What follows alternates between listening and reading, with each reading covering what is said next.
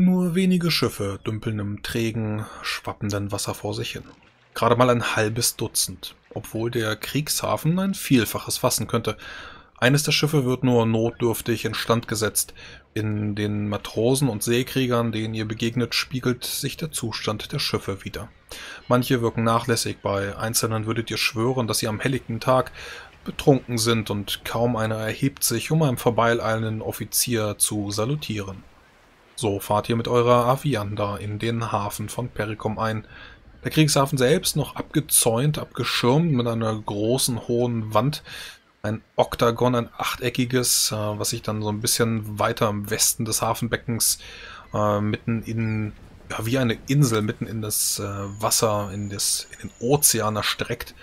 Aber ihr macht irgendwo im Süden äh, fest und könnt dann von dort aus über die Stege ja, in Richtung der Stadt blicken.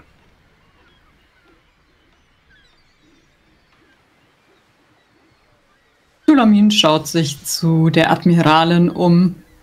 Nun, Prayadanya, wohin können wir euch geleiten? Hm. Ich werde... Ich bin mir nicht ganz sicher. Ich bin mir auch nicht ganz sicher, ob wir eure Rückkehr gleich allgemein bekannt machen sollten. Das Vielleicht hatten wir ja schon beschlossen. Ich kann nicht ja. einfach wieder zurück ins Oktagon gehen und mit Ehrenbrand von Hardenfels sprechen. Ich weiß nicht, wem ich trauen kann, nachdem ich durch Verrat und durch Lug und Betrug auf Rulat gelandet bin. Na, ja. dann seid gerne noch eine Weile unser Gast und wir holen erst einmal ein paar Informationen ein, oder? Blick in genau. die Runde. Außerdem gibt es ja Mittel und Wege dieser ähm, hm, wie hieß er noch? Man kann ihm ja einfach ähm, einmal in die Gedanken gucken. Dieser Strippenzieher. Nun, ich werde mich erst einmal bedeckt halten müssen, bis die Sache mit dem Steckbrief geklärt ist, fürchte ich. Vielleicht werden wir dir andere Klamotten anziehen müssen, Abelmir. Die Robe ist doch ziemlich auffällig. Nun, das wäre sicherlich möglich. Wir könnten auch einen Schelm suchen, der euch ein Bart anhext. Ich glaube, die können sowas. Das lassen wir vorerst. Nun, ja, solange ihr, solange ihr nicht mit den Offizieren der Perlen der Flotte sprecht, solltet ihr euch in Perikum normalerweise gut bewegen können. Der Steckbrief von euch ist alt und ihr habt zwar Verfehlungen gegen die Krone getan, aber nun so sehr dramatisch schlimm war es nicht. Ein paar Gefangene befreien. Ja, das hat vor euch noch keiner getan und äh, nach euch auch wieder keiner, aber nun, die Steckbriefe mhm. sind längst vergilbt. Solange ihr euch äh, mit eurem Namen zurückhaltet und äh, meinetwegen einen anderen annehmt, äh, werdet ihr sicherlich nun, euch bewegen können. Ihr solltet zumindest nicht mit euren so. Heldentaten herumposaunen. Das, das glaube ich nicht. Oder die Autogrammkarten. Nun, dann werde ich meine Robe ablegen und als einfacher Söldner, nun ja, durch die Stadt streifen. Zum Glück kann ich meinen Stab ja verstecken. Die Tochter von Marix kennt dieses Schiff und sobald bekannt ist, dass Sunday äh, im Hafen eingelaufen ist, wird sie auch wissen, dass wir in der Stadt sind. Ja, aber mir, wenn ich dir einen Namen empfehlen dürfte, Rafim. Nun, ja. Hatte, ich hatte schon einmal einen Namen in den schwarzen Land gewählt. Ich denke, den werde ich wieder benutzen. Äh, fortan bin ich Alrikio Nintangir. Ein kroatischer Söldner. Ja, natürlich, Rafim. So machen wir das, Rafim. Sehr gut, Al Rafim. Alrikio. Jetzt bin ich verwirrt. Also, ich heiße nicht Rafim, das seid ihr. Habt ihr Diamantes zugehört? Äh, ja, ja, genau, das, das meinte ich doch.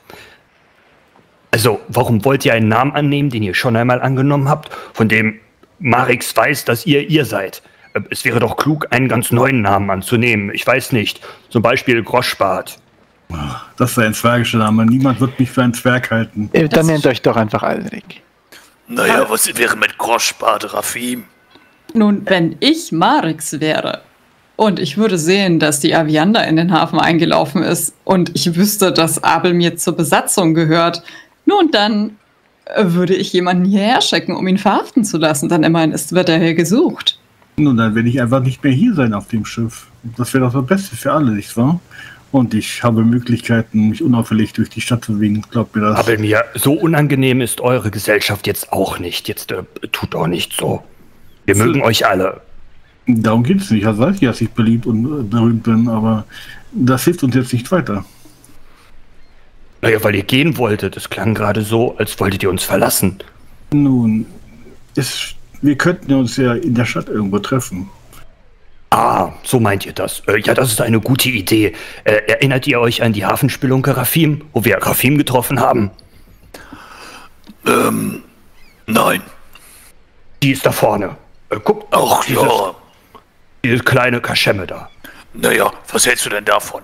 Ich gehe zusammen mit Abel mir von Bord, wir nehmen noch ein paar Söldner mit, dann fällt das nicht so auf.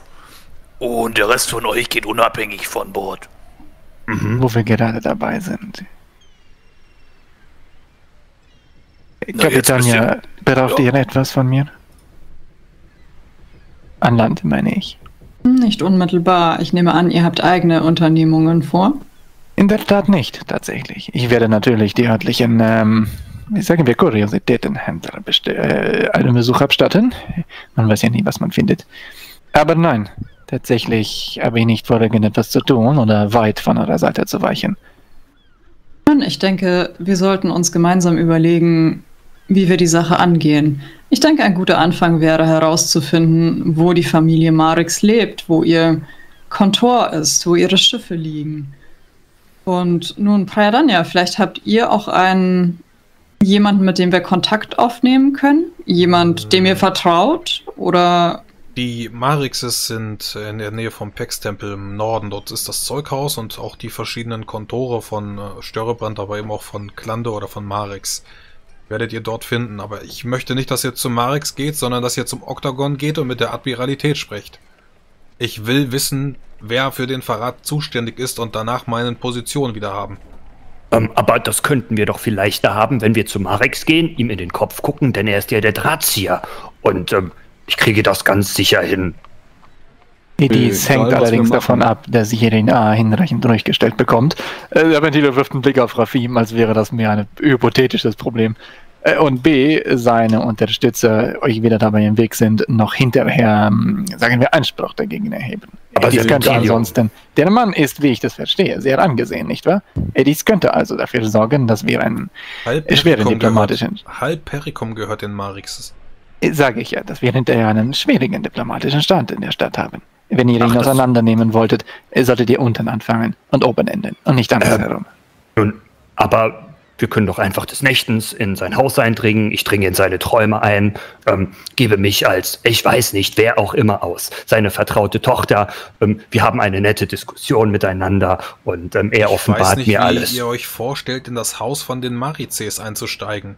Aber das ließe sich organisieren. Noch einmal, ihr habt, glaube ich, nicht verstanden, wer das ist. Äh, sie, ihnen gehört halb Pericom. Sie sind eine große Händlerfamilie, ehemalige Granden, die aus Al-Anfa nach Norden gekommen sind und die jetzt die Strippen ziehen. Das heißt, alle Beweise nützen uns nichts. Ich glaube, Vermutlich ihr habt noch nicht, nicht verstanden, wer wir sind. Das ist das Problem. Haltet ihr es für hilfreich, wenn wir ihn einfach aus dem Weg räumen? Oder wird jemand anders den Mantel an sich nehmen? Wenn ihr, wenn ihr den Marix umbringt, ist das so etwas wie Hochverrat, weil seine halbe Familie im Magistrat sitzt. Nun, ich fragte ihn nun. Nun, selbst wenn ihr als Helden gut gelitten seid und mein Einfluss mag weitreichend sein, vor allem in Perikum und in der Perlenmeerflotte, aber wenn ihr Marix umbringt oder einen Magistraten von Perikum, dann wird selbst der Reichsgroßgeheimrat Rondrigan Paligan äh, euch suchen lassen. Ja, ja, schon verstanden. Wir, wir, gehen nur wir, wir, gehen nur Optionen durch. Wenn wir Aber Al Paligan den Brief zeigen wollen. Verschwendet meine Zeit. Ich möchte meine Admiralität wieder haben. Ja, lass mich mal ausreden. Wenn wir Paligan diesen Brief zeigen, der zweifelsohne seinen, seinen Verrat belegt, dann wird er sich wohl einschalten. Er ist schließlich der Graf von Perigum. Nun, das, das könnt ihr natürlich machen. Dann sprecht mit Paligan. Oder wenn wir Marix überführen, ein Paktierer zu sein, dann sagen wir einfach Ayla Bescheid und äh, Ayla schnappt sich ihn dann. Denn, naja, sie ist der höchste Ronra-Geweihte. Und, äh, wir, wir, wissen nicht, ob er ein Paktierer ist. Das ist eine Spekulation. Vor allem solltet ihr vorher euch darüber im Klaren sein, seine Organisation im Sack haben zu können, bevor ihr ihn entfernt. Sonst werden sie sich zerstreuen wie äh, Ratten, wenn das Licht angeht. Egal, was wir tun, wir müssen im Kopf haben, dass sobald wir in den Hafen eingelaufen sind, wir sicher nur wenige Stunden haben. Nun, dass wir das Schiff umbenannt haben, wird uns sicher einige, äh, genau diese Stunden verschaffen, aber dann äh, wird das sicher an Mareks Ohr gelangen, dass wir da sind. Dementsprechend äh, müssen wir, sobald wir in den Hafen einfahren, einen Plan haben und diesen schnell ausführen können. Oh, das mit Rondrian Paligan klang nach einem guten Ansatzpunkt. Ich halte ihn für vertrauenswürdig und die Beweise werden ihn sicher überzeugen. Vielleicht äh, weiß er, wie wir weiter vorgehen könnten als jemand, der vor Ort sowohl große Macht als auch große Kenntnis hat. Den vertrauenswürdigen Paligan. Komische Sachen habt ihr hier oben im Norden. Nun, er ist immerhin der Rechtsnachfolger von Dexter Nimrod. Vor allem ist er der Markgraf, wenn er Remione ablöst.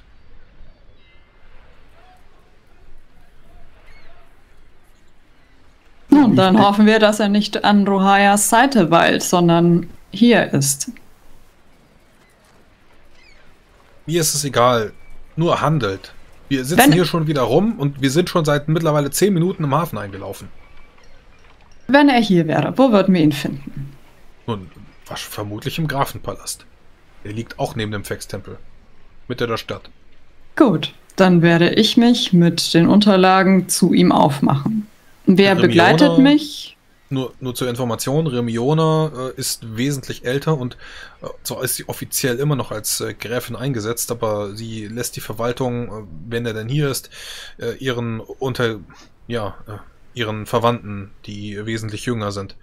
Und das ist dann eben Rondrigan, wenn er, wenn er anwesend ist und nicht mit Rohai herumrittert.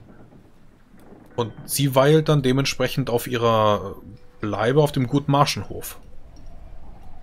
Das ist der Marschenpalast am Dapat.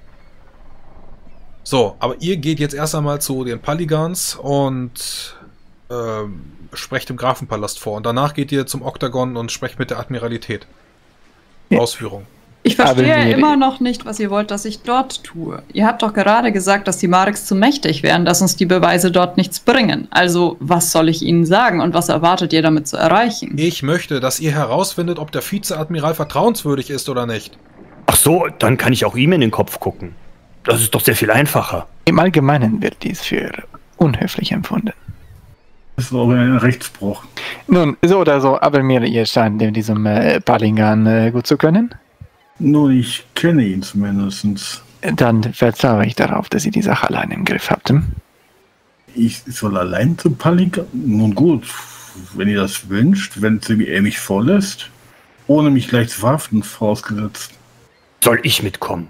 Also ja. ich, ich würde Raffi bevorzugen. Ja, ich bin schließlich ein Ritter des Reiches. Oder irgendwie sowas Blödes. Voltax, vielleicht gehen wir beide zur Admiralität. Dann haben wir jemanden, der Zwege angeht, jemand zur Admiralität und äh, Kapitana, ihr wolltet zu Marex. Der Nein, letzte, zu der Letzte Brief, der letzte Brief äh, an Rondrigan wurde von Boltax geschrieben. Ja. Ich bin ganz dicke mit dem. Ja, dann gehen wir jetzt einfach zu viel zu Paligan und laufen einfach los, Freunde. Ja, Gut. bei mir jetzt die um. Kann ich die Admiralin, wenn sie doch noch an Bord bleiben muss, äh, derweil für einen beruhigenden Tee begeistern? Von einem Schwarzmagier nehme ich gar nichts an. Ihr hättet jetzt gut, mir den Brief auszubauen, derweil? Den, den ich euch gegeben habe, als Beweis? Ich komme ungern mit leeren Händen zu einem Reichsgroßgeheimrat. Den habe ich, schon, den hab ich euch schon wiedergegeben. Ah, ich verstehe. Da habe ich ihn wohl verlegt. Äh, ich will nein. hoffen, dass ihr nicht wisst. Ah! Hier, Abelmir, hier Abelmir, ich habe ihn. Ja, habe ich ihn doch nicht bekommen. Ich wusste das. Ich habe ihn euch gegeben. Und ihr sagt, ihr, ihr, wisst nicht, wo ihr ihn hingelegt habt. Ich, wenn, ich raste wenn aus. Das, wenn ihr das sagt, beruhigt euch. Vielleicht solltet ihr einmal das Kloster aufsuchen, um eure Nerven zu schonen. Es ist noch nicht zu spät, besagten Tee anzunehmen. Könnte auch etwas für Linderung schaffen, wenn ihr möchtet. Ja, Kameraden, wir rücken in fünf Minuten aus, habe mir. Du wolltest sie nur umziehen. Wenn ich du ja. wäre, würde ich mich langsam bewegen und weniger quatschen. Ich bin gleich wieder hier. Ihr seid mit einem Ritter des Reiches unterwegs. Solche wichtigen Personen lässt man nicht warten. Äh, ich erinnere ich bin ebenfalls Ritter, Ehrenritter des Haus Garrett, aber lassen wir das. Ja. Ich bin gleich wieder da. Entschuldigt mich. Ich möchte gerne auf Etikette würfeln, um jetzt den feinsten Begriff mir rauszusuchen, um über Abel mir zu lästern. Was für ein schlechter Ritter er ist. Gucken, ob mir das gelingt. Okay, ich habe genau null Punkte. Was, welcher Begriff? Heckenritter. Äh, Heckenritter. Ja, der allerletzte Heckenritter, dieser Abelmir, der allerletzte Heckenritter. Wenn ihr das sagt, Ritter des Reiches? Ja, schrecklich, sowas, schrecklich. Oh, ähm, auf dem Rückweg könnten wir da vielleicht bei äh, den Zwergen vorbei. Sie müssen ja hier irgendwo auch ein kleines Viertelchen haben. Äh, ich wollte etwas Material kaufen, um Schnabel mir endlich eine schöne Rüstung anfertigen zu lassen. Ganz nach dem Vorbild von Miras Rüstung. Ähm, ja, äh, keine Ahnung. Äh, Zulamin, weißt du das? Haben die hier irgendwie ein Viertel? Oh, ich kenne mich in Perikum nicht wirklich aus. Äh, Admiralin, es gibt wenige Zwerge. Vor allem beim Ingrim-Tempel werdet ihr sie sicherlich finden. Oh, wunderbar. Ach, äh, das ist schon in Ordnung. Äh, Kapitän, ja, einen Moment, bevor ich mich äh, an Land aufmache. Ja, bitte. Äh, und sie geht ein paar Schotte mit ihm. Ja, Ventile wird schon mal aber mit ihr gehen, äh, seine Sachen einpacken gehen. Äh, zum einen, ich werde mir wohl eine äh, lokalen Gardisten ausborgen, nur für den Fall der Fälle, dass jemand Ideen bekommt. Für euren Besuch in der Stadt, ja? Ja. ja äh, äh, vermutlich werde ich den Mann bitten, sich äh, unauffällig zu kleiden. Zum anderen soll ich Vorkehrungen treffen für den Fall der Fälle, dass wir den Malex-Clan aus dem Weg räumen müssen. Oder glaubt ihr noch an eine Lösung? Ich glaube, dass wir uns hier sehr in Acht nehmen müssen. Gerade deswegen finde ich es auch gut, wenn ihr einen Leibwächter mitnehmt. Denn ihr könnt zwar wahrlich auf euch aufpassen, aber ich möchte nicht, dass ihr wegen eurer Zauberei hier verhaftet werdet. Ich deute dies als ein Ja und bereite mich vor. Sie verdreht die Augen, aber sagt nicht Nein.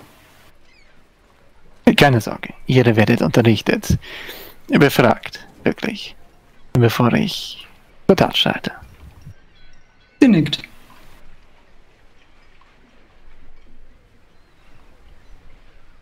Okay. Und dann sind wir hier fertig. Ja, möchtet ihr sonst noch irgendwas tun oder geht ihr vom Bord? Äh, bevor ich vom Bord gehe, würde ich nochmal. Afim, Boltax, ich werde nun einen Zauber wirken, der mich vor nun ja den Augen von neugierigen Leuten verstecken wird. Denkt mhm. einmal dran, ich bin bei euch. Ich bin immer bei euch. Äh, ja, wartet, wartet. Ich muss eben noch meine Orden holen. Wo liegen die denn nochmal? Ja, Scheiße. An, an, Bären, an diesen Bären gehangen. Ja, Mira. Perfekt. Mira. Danke. Ich möchte einmal zu Mira rennen, meine ganzen Orden ihr Da ist wahrscheinlich so ein klimpernder Sack. Mhm. Nee, nee, wir hatten gesagt, sie hat die am Halsband, weil sie ein genau. gutes Mädchen oh. ist. Ja, ich nehme meine Ich hasse Orden. euch, aber oh. Ich möchte mir anfangen, einfach alle Orden, die ich mal irgendwann im Mittelreich gekriegt habe, mir anzuheften. Äh, ja, aber ich, du hast aufgeschrieben. Ich ziehe, ja, ich ziehe, ich ziehe meine ähm, rote Schärpe von Rondra an. Oh, äh, gelbe, gelbe. Äh, gelbe, gelbe. Ist gelb. Und mein, mein äh, Reichsorden. Oh, den Sozial, ich, Sozialstatus steigt irgendwie drei oder vier Punkte. Klingt gut. Naja, also, äh, Boltax, Herr Boltax, es fühlt sich so an, als äh, bräuchte ich einen Knappen. Oh, Ritter des Reiches, ähm, ich denke, dieser Kretin, da wäre ein optimaler Knappe. Und ich weise einmal auf Abelmir. Es ist übrigens der Reichsorden der dritten Klasse am purpurnen Band, falls sich jemand ja. fragt. Ja, ich, er hat auch die Gut zu wissen, nee, aber. Uls Schwerter. Ich habe mitgeschrieben. Außerdem die Kaiser Raul Schwerter. Nee, nee, das hat er verwettet. In, nur in Gold, nicht in Bronze. Oh, Nein, ich habe sie, okay. hab sie einmal äh, flippen lassen über die Kanäle von. Ähm, ja, wo war ich denn? Aber, nein, mehr. aber ich habe sie mir zurückgeholt durch ein Wasserelementar. Sicher? Ja, tatsächlich damals. Ich erwähne nochmal, dass ich euch hasse. Also ähm, bei der gelben Schärpe der Rondra-Kirche bin ich dabei. Das ist der erste Orden, den ich hier gekriegt habe. Okay, mein Rondra-Orden wurde Warum. leider gefressen, aber den ja, anderen genau. dürfte ich noch haben. Gut, ich würde derweil einen, während die alle beschäftigen, ihren Ohren sich anzubamseln, würde ich ein Ignorantia ungesehen wirken und zwar in der Variante zweimal, Reich, äh, zweimal Wirkungsdauer verlängern und mir dabei Zeit lassen. Es gibt eine Erschwerung von plus 5. Ignorantia, du bist nicht unsichtbar, du bist einfach nur uninteressant, ne? Genau, ich tauche in, in werde nicht beachtet und okay. äh, solange ich von mir aus mit irgendwelchen Leuten interagiere. Also da hättest du jetzt keinen Zauber für gebraucht. da hättest du jetzt einen Chippy für gebraucht. Ah, verdammt. Äh, ja, gut, er ist mir misslungen. Wagt wie die Auswirkungen. Ja, du bist super interessant für alle. Dann, du kommst gar nicht aus dem Hafen raus vor lauter Bettlern und Händlern und Straßenkindern. Oh, Abelmir, ihr habt euch auch zurecht gemacht. Abelmir! Oh, naja, naja, naja, also eure Wampe, die steht ja schon etwas hervor in diesem Outfit. Ihr denkt ihr wirklich, dass diese Überkämmung eure wachsende Halbglatze verdeckt? Ja, stimmt. Halt ja richtig. Sieht anders aus. Denn ich muss sagen, sie ist gleißend offensichtlich. Kann man eigentlich mit Zauberkontrolle sie fallen lassen? Weiß ich gar nicht. Also, ja, klar. Bei, Selbstverständlich, du kannst bei einem, bei einem, Patzer, bei einem Patzer erlaube ich genau. das nicht. Äh, bei einer normalen Probe, die misslungen ist, ja. Ah, bei einem Patzer, nein. Alles klar. So, wie viel Wirkungsdauer hast du? Ich habe verdoppelte Wirkungsdauer, der dauert jetzt wieder äh, 20 äh, Minuten. Meister Abelmir, Meister Abelmir, soll ich euch irgendwas holen? Ich möchte Nein, euch geht weit weg. Bitte, Wer seid, ihr überhaupt? Wer seid ihr überhaupt? Ich bin einer von den Jungs hier. Ah, schön für euch. Äh, euer Name? Alrik. Ah, Alrik. Nein, Bitte. ich brauche nichts äh, äh, kümmert euch doch um das Deck hier. Das muss ordentlich geschrubbt werden. Sieht ja, furchtbar um aus hier. Um dich herum fallen so zwei, drei Leute aus den Segeln. Oh, Meister Abelmir. Ihr seht ja heute wieder besonders gut aus. Moment, ihr habt da noch eine Strähne. Lasst mich die einmal. Lass, lass uns gehen. Aber mir, ihr hättet euch ein Bad anhexen lassen sollen, wirklich. Das hätte euren Teint unterstrichen. Kommt, kommt, endlich. Ich will hier raus. Könnt ihr aufhören, dauernd Abelmir zu sagen? Geht weg von mir. Ja, äh, naja, du also, stolperst du so ein bisschen von dem Steg herunter auf die äh, ja, befestigte Kaimauer und kannst wohl erkennen, wie vor dir ein ungefähr 50-jähriger Maraskaner steht. Sein Alter ist nicht unbedingt äh, das Interessanteste, vor allem weil es auch nicht richtig erkennbar ist. Aber er, er, wirkt schon alt, auch wenn er nicht so viele Falten hat. Er hat auf alle Fälle rote Haare, das macht ihn äh, zumindest merkwürdig. Und äh, er steht vor euch, nickt dir höflich zu und auch den anderen Helden, wenn sie dann runterkommen. Ah, willkommen in Pericum. Äh, mit wem haben wir das Vergnügen? Mein Name spielt keine Rolle. Ich äh, bin hier im Auftrage von Ola Marix und ich möchte euch ganz recht herzlich einladen, sein Kontor zu besuchen. Ein gemeinsames Essen, Speis und Trank. Ihr seid äh, für eure Großtaten im Perlenmeer und äh, aufgrund der letzten, letzten Vergangenheiten hoch angesehen und bei uns eingeladen. Damit äh, drückt er dir aber mir einen großen Umschlag, versiegelt mit dem, mit dem Wappen eine graue Sphinx. Drückt er dir in die Hand und verbeugt sich höflich vor euch. Oh, das ist aber nett. Dann wird das ja doch ein ganz schöner Ausflug. Wir werden sehen, ob wir Zeit dafür haben. Bisweilen richtet die einen schönen Gruß aus von das den Helden. Ja, er naja. verbeugt sich noch einmal höflich vor dir und äh, dreht sich dann um und äh, geht angemessenen Schrittes. Nun, wollen wir das gleich lesen? Ich denke nicht. Äh, wir sollten erst äh, den, den, äh, den Markgrafen aussuchen. Natürlich, wie es sich gehört für uns gar feine Herren. Dort, dort lang, ich glaube, dort lang geht es. Vermutlich möchte er uns ohnehin nur erpressen. Naja, da wäre ja nicht der Erste in diesem Leben und auch nicht der Letzte. Ja, ja eines nach dem anderen. Jemand darf eine Gassenwissenprobe würfeln. Äh, ich erleichtere sie euch um drei Punkte, weil ihr grobe Informationen von ich war schon mal hier. Ich war ja auch schon mal hier, glaube ich. Ja. Für dich ist sie dann weiterhin erleichtert, für die anderen nicht. Moment, Rafim und ich waren auch schon hier. Ich auch, aber er will ja, ja. vorlaufen, ich halte ihn auch nicht auf. Oh gut, okay. Ich möchte nur noch unser Protokoll gegeben haben, dass ich nicht da bin. Das, was ich mal nicht wusste. Hm, okay, falls ihr überfallen werdet oder so. Oder mich braucht. Das wahrscheinlicher ist. Das, das passiert sowieso nie, dass man dich braucht. Hör mal, Froste, dein Kühlschrank wachsen gleich Beine. Mhm.